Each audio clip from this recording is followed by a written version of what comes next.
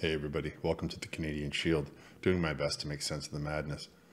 This video has one clip, one subject, one topic. It has uh, Steven Guilbeault and a minister from Manitoba. Now, what's important to understand in here is he's going to say a term I asked a question through an order paper. And I don't want you to get the wrong idea, so I'm just going to explain it to you quickly and then we'll jump right in when you when you hear the term order paper, that's legal parlance for placing an order, not giving a direction. So instead of thinking it more like the army that gave him an order, think of it more like McDonald's. I ordered my, you know, hamburger or whatever it is, right? Okay. Mr. Speaker, last week the Environment Minister revealed the truth about the carbon tax. I asked how many emissions are directly reduced from the carbon tax in an order paper question. this minister's response was, and I quote, the government does not measure the annual amount of emissions that are directly reduced by federal carbon pricing. Wow. These are his words, not mine. Why is the minister forcing Canadians to pay his carbon tax if he doesn't measure the emissions he pretends to reduce? The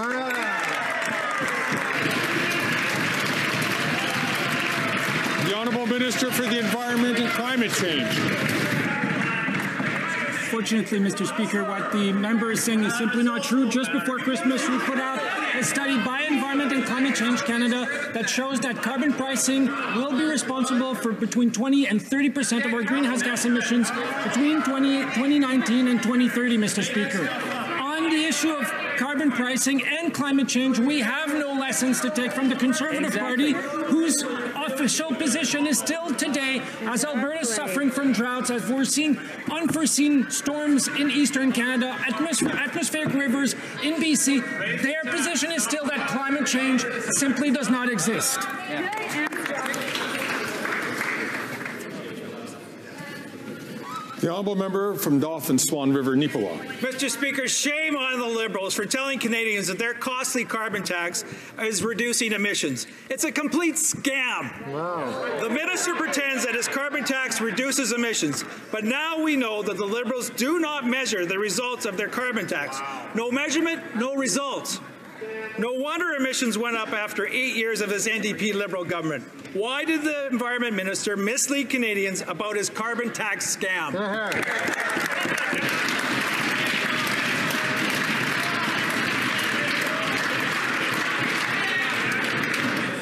Mr. Speaker. The Honourable Minister for the Environment and Climate Change. Mr. Speaker, the falsehoods that we hear from the Conservative Party on the issue of climate change and carbon pricing is unseen before in the history of this country. So first, they believe that climate change doesn't exist. That's simply not true, Mr. Speaker. They say that our plan isn't working. Our plan has allowed us to reduce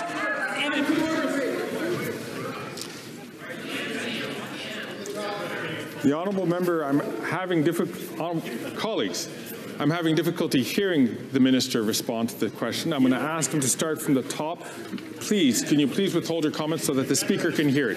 The Honourable uh, Minister for Environment and Climate Change. Thank you very much, Mr. Speaker. You want to know the truth? Climate change is real. That's the truth. You want to know the truth? Climate change is impacting Canadians all over the country, including farmers from coast to coast, Mr. Speaker. You want to know the truth about climate change? It's costing Canadians billions of dollars. That's climate change. Our plan is working. We are reducing emissions. We're helping Canadians with affordability. That's the truth, Mr. Speaker. Well, well, well, well the liberal Mr. Minister who always thinks wants everybody to think that he's all calm and is the victim of a target on his back. Seems to have quite a bit of a temper when he doesn't get his own way. Seems to want to throw a tantrum when he doesn't get his own way.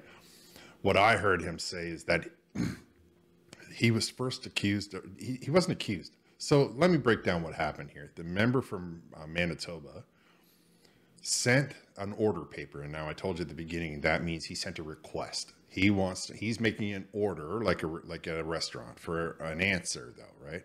And they, these order papers fly back and forth across parliament all day long. Every single solitary first question that you hear about in the question period is an order paper. I want to ask you this: the every the first question, the second question, they they can free ball, but the the first question is sent to Parliament, like to the government, and they have to approve whether or not they're going to answer it today, and that's done on what's called an order paper. So he sent an order paper because the minister from Manitoba wanted to know how many emissions these this carbon tax was reducing. And the environment minister's office sent back, we do not keep track of that. So he stood up in the House of Commons and he said, wait a second. He doesn't even know how, what kind of uh, positive or negative impact the carbon tax is having on the environment because he doesn't have a clue. It's not being tracked. And then the environment minister stands up and said, well, Environment Canada says, which is, you know, not, that's the, that's the, not the government group. I mean, I get that they're part of the government, but they're the scientists, right? Not the lawyers. They say that it, it should have a significant impact on the CO2 emissions between 2019 and 2030. So if you put anything in, into motion, or if, if, if you haven't seen impact in 12 years, then you probably haven't done anything right. That's really kind of sketchy. That's really kind of non-committal. That's really kind of a half answer. So then the environment, the minister from Manitoba stands up and says, well, this seems like a scam because you're not keeping track of it. And now all you're telling me is that it's going to be 12 years. Then this environment, the environment minister Guilbeault stands up and tries to say, well, how dare they climate deny, which of course is not, you can't put words in other people's mouth and expect them to just let that happen. That's, that's a, a far left communism idea. I get it. But in the real world where people are free to say what they want, they're not going to allow you to slander them. They're not going to allow you to say something about them that may or may not be true. You got to prove, you got to back up your statements. And so in true parliamentary standing, they said something. They yelled at him. They they saw they they they they uh, heckled him is the word. Now the chair can't hear him, so he tries to re, uh, regain decorum from the House. But in the meantime, Mr. Guilbeault has lost his temper.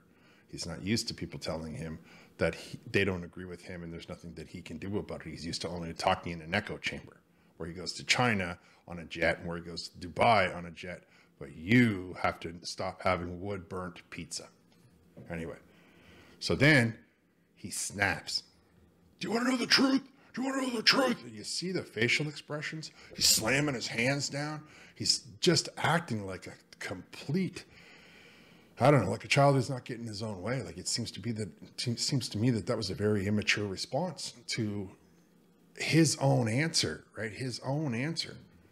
And so he says that it's saving Canadians billions of dollars, but how could he know if he's not keeping track of it? We do know that it's costing Canadians billions of dollars.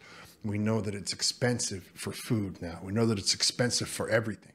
We know that this tax that he is putting on everything that you touch, it, we don't know how much of the energy of the environment is saving. We know that there's no way in the world it's compared to what the amount of carbon that the coal fire electrical plants in China or the um, burning that they do in India is thrown up into the air. We know that there's nothing Canada can do to stop that. We know that. But he wants you to believe that it's going to make a change because he says so. His own office says that they're not keeping track of it, but somehow the facts got to be ignored, right? That the evidence has to be only what he says because he says so this fanatic, this environmental Greenpeace crazy man who act now that we see, right? We see the true the true colors of this minister who wants to walk around on TV with his glasses and wide-eyed going, "Oh no, I'm such a victim." And then as soon as he loses his temper, you notice he took the glasses right off his face. That's a strange thing. It's the first time I've ever seen him do that, and I've been watching Parliament for a while. But he's mad. He's mad because how dare they defy him? This is what fascism looks like. All right, I think that it's a scam. I think that if they were really trying to tell me that it was making an impact, they would be keeping track of it. They have no idea what it's doing. That's the point of it. Oh, it's going to make a difference in the next decade. So will the Paris Accords, and we don't have to pay any tax for that. So what are you talking about? You know what I mean? What do you what do you mean? It seems like very, uh, it seems very um, fraudulent in, in my opinion. They're using the term scam, but I think that they're intentionally gaslighting Canadians into thinking that they're doing something that they're really not so that they can take Canadians' money and spend it on God knows what. I know that's my opinion. I uh, want to encourage you to like, comment, subscribe, hit the notification bell. I want to thank you for listening. I'll talk to you next time.